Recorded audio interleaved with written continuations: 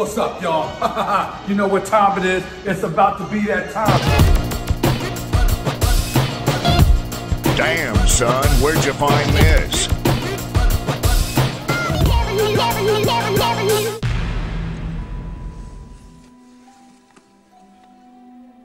I didn't mean it. If you come back, I'll never be a pain in the butt again. I promise. Good night.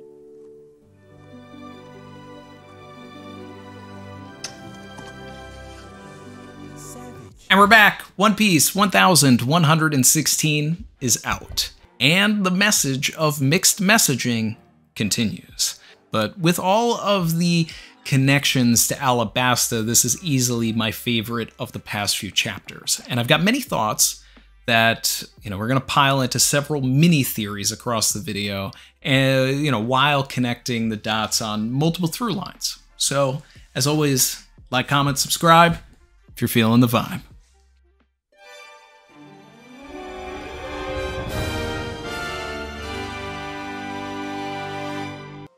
Was right? Who was wrong? Why didn't the Roger Pirates do anything but laugh? Roger and Rayleigh said that they were too early.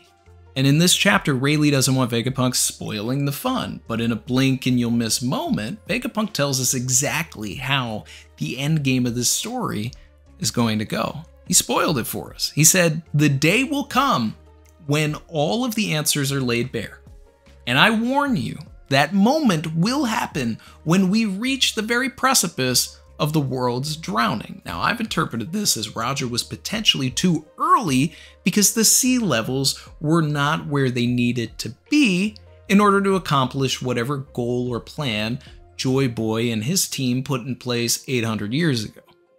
Joy Boy stored the weapons away for a reason, and I hope everybody packed a swimsuit because that means Luffy literally cannot save the world until it's very much underwater. What if Shyarly's prophecy referred to Luffy actually being responsible for flooding the world? Either way, someone's going to have to tell Neptune to start prepping the Noah. Is this why Oden was so determined to open the borders of Wano? Is the amount of water contained within those borders enough to actually flood the world? Is that the price either Luffy or the world must pay in order to bring back Pluton? Vegapunk continues to focus on remaining neutral and not choosing side, while Rayleigh wants us to come to our own conclusions.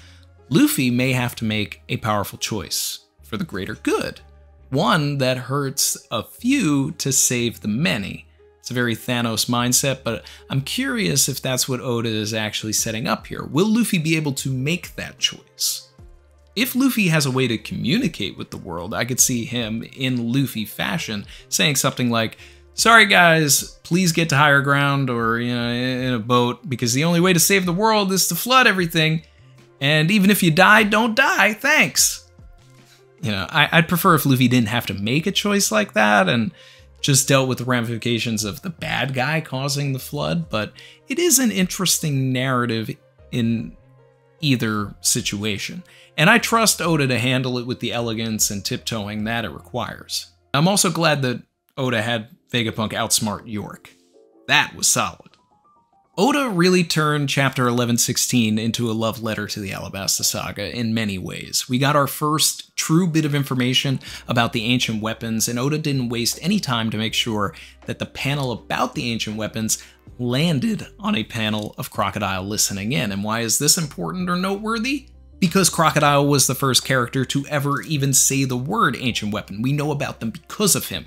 What does Crocodile know? How does he know it?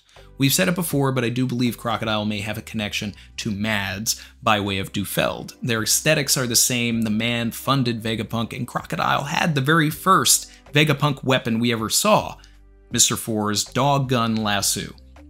This tells me that Croc is still after that power, and Oda also made sure to hide where Crocodile is by blacking out the background behind him, following his fight with the three Seraphim sent to kill him which he obviously survived, escaped, or won against.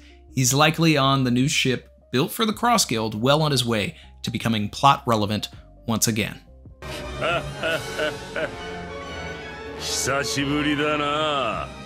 Cobra's funeral had a level of detail and emotion that is always rare to get outside of flashbacks, so I'm glad that Oda didn't shy away from showing us this.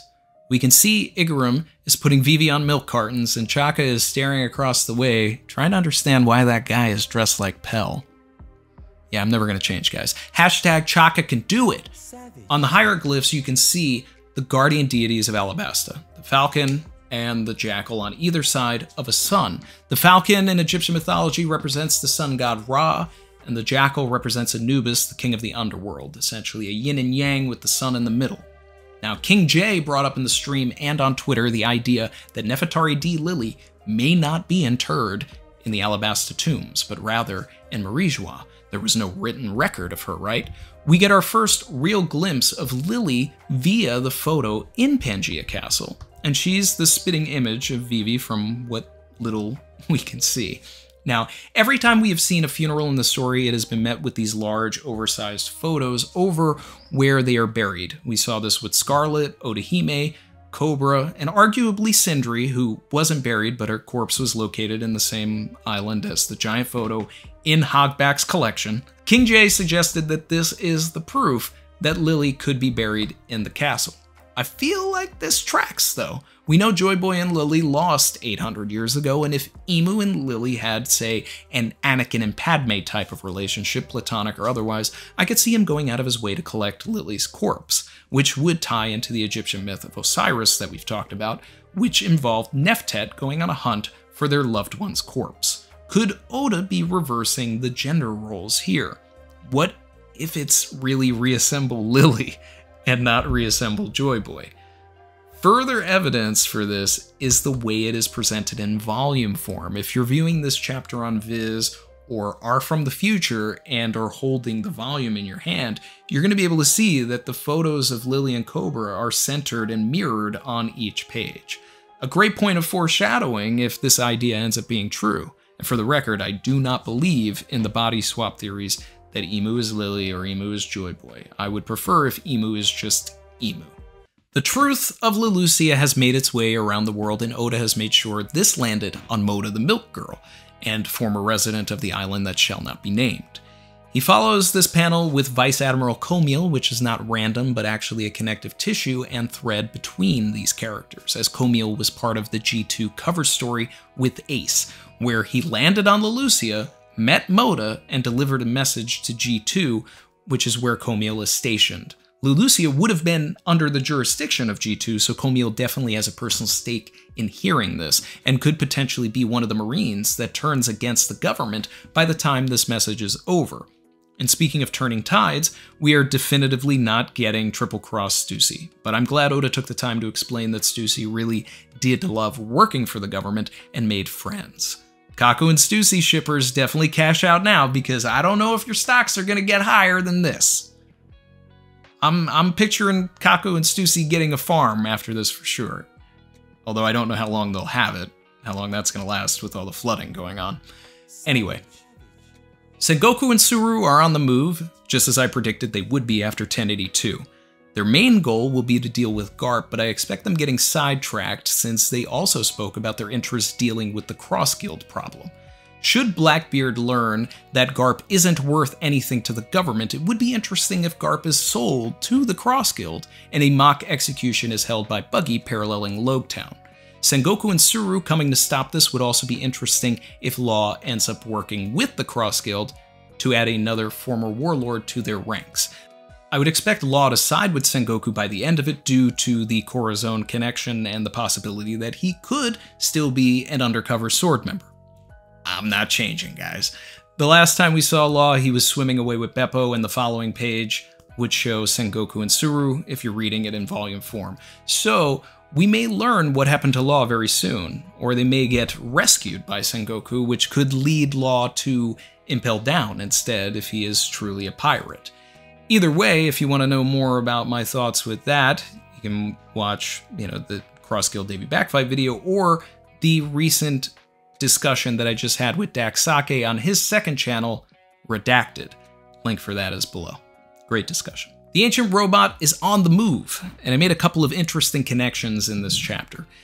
One, his eyes are activated and drawn the exact same way that Oda drew Zunisha's eyes in the Joy Boy Has Returned panel in chapter 1043. Are they each under the same curse? Is that their connection? Interestingly, the ancient robot looks like an ancient Oni. Now, I never noticed this until I saw in this chapter like an actual front view of the ancient robot standing, and I put it together. If you compare the size and proportions of the robot to the proportions of Oars or Oars Jr., you've got same horns, same torso build, same forearms, etc. Could this originally have been armor for the Void Century ancestor of Oars, the first continent puller? Is there circuitry inside? Or is a soul trapped in the robot like Alphonse Elric? I'm excited to see how this ties in, and shout out to Groat Stonks in the stream because he caught a big W this week by suggesting that the transmission snail is inside the robot. This could have happened in Vegapunk's introduction when he was partially phased into the robot. Accidental or not, it ties the climax of the arc to Vegapunk's introduction, which is great. And RIP to anybody who was hoping Dragon would be helping with the relay. We will watch your career with great interest. Either way, we're set to get a 5v1 next week with the Gorosei targeting the ancient robot. I just hope, as I've been saying and reiterating Rayleigh's words this chapter, that I don't want Vegapunk spoiling the fun for Robin. If Robin can get her hands on the snail and start transmitting what she knows about the world, then I'll be satisfied. Robin needs to drop the name of the ancient kingdom. That's not Vegapunk's role. Sorry, it's just not. But what does Akainu know? The official dialogue in chapter 1116 has Akainu saying, You're really going to tell them everything, Vegapunk? Implying that he might know everything. Is there a dossier that you get when you become Fleet Admiral? Like when a president gets sworn into the United States and learns the truth about aliens? For that matter, what does Sengoku know? It's very curious, and I wonder if any of this has to do with Dragon. We've talked about how Dragon must know things to make him so dangerous to the world government. Dragon and Akainu are the exact same age. Did Akainu and Dragon learn the same information, perhaps, at the same time coming up in the Marines, and take two different paths with said information? Is that why Akainu is so mad at Dragon? Why he calls Luffy Dragon's son with such animosity? There's a lot to unpack there. And that's going to wrap things up, guys. Looking forward to 1117 next week. Thanks for all of your support and engagement. The last video didn't reach the heights of the Luffy lineage video, but it did better than any other analysis this year. So we're definitely making a dent in the algorithm, and that is thanks to you guys. So if you've made it to the end of the video, and you also believe that Pell should be dead, comment hashtag Chaka can do it. Because this chapter really like hammers that in. Anyway, take care, everyone, and like, comment, subscribe if you are feeling the vibe.